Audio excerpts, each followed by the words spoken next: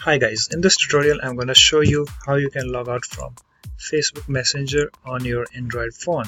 Okay, so you have to go to the settings of your phone.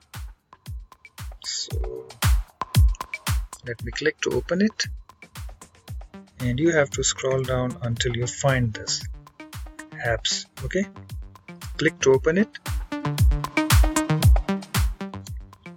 and here you have to find the messenger okay so here we have click to open it. And here you have guys okay? So you have to click on this clear data uh, delete app data. All this apps data will be deleted permanently okay? This includes all files settings accounts database etc so guys once you are sure then click on this ok button over here okay it's done. So if I go to my messenger again.